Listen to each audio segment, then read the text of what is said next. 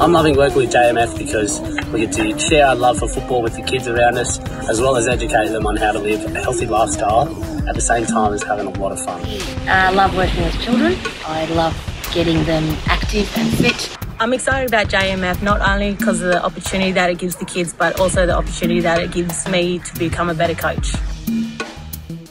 I grew up my whole life playing sport, and it's a great way to share my passion with the community.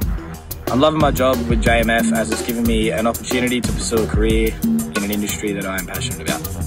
It's great having JMF in Dubbo as it unites both the community and the kids through their mutual love of sport.